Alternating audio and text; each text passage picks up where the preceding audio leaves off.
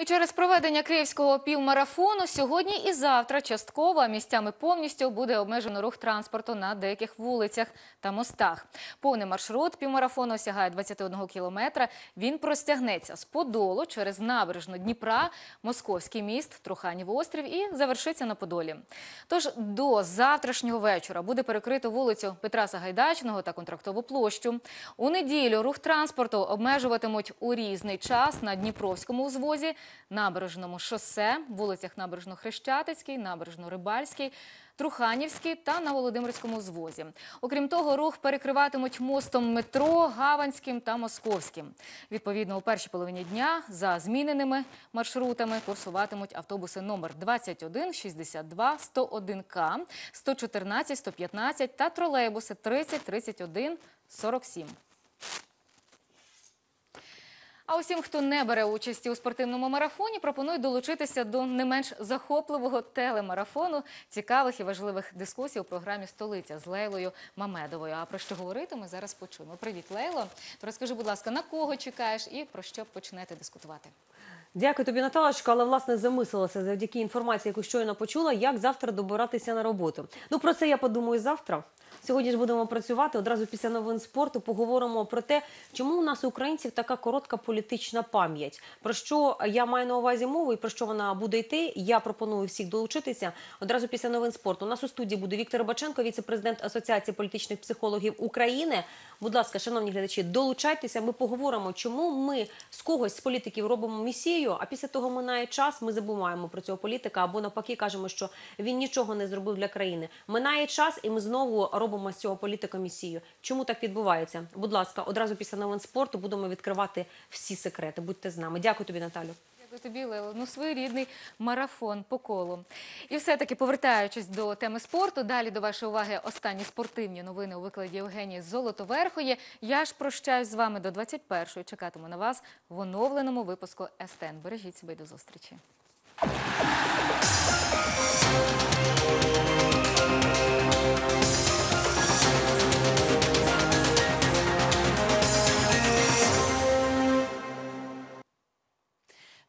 Спорт. Моє вітання. Сьогодні трьома матчами розпочався 22-й тур чемпіонату України з футболу.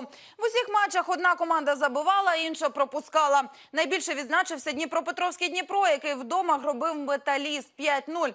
Київське Динамо на виїзді здолало Говерлу 2-0. З таким самим рахунком знову відзначилася Олександрія, яка перемогла зорю. А сьогодні в столичному палаці спорту за підтримки КМДА стартував гімнастичний турнір Ukraine Nation Cup. Раніше він називався міжнародний турнір зі спортивної гімнастики на кубок олімпійської чемпіонки Стели Захарової. 14-й за ліком він приймає спортсменів з 9 країн. Це єдині міжнародні змагання з цього виду спорту, які відбуваються в Україні.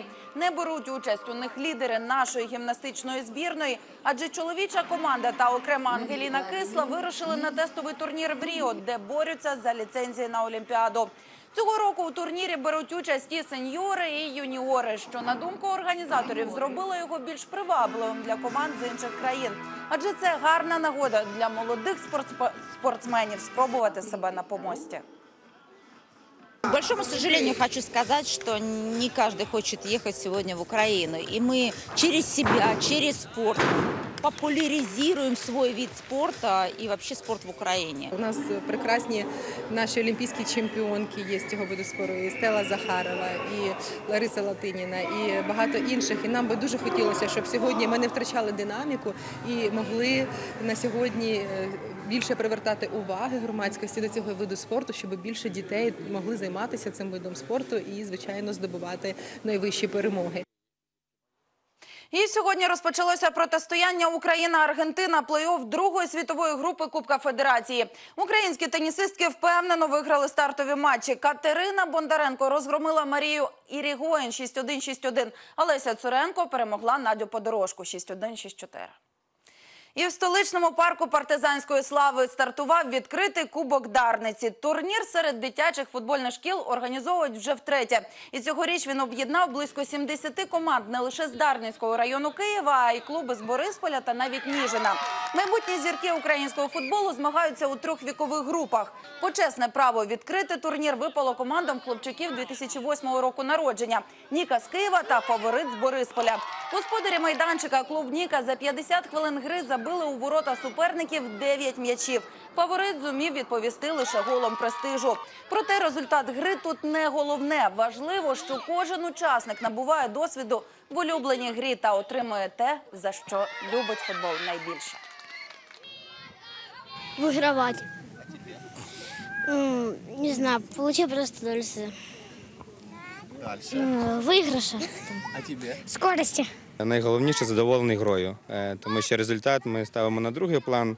А найголовніше для нас, щоб команда грала в футбол. Найперше потрібне велике бажання, е, бажання до перемоги і працювати над собою.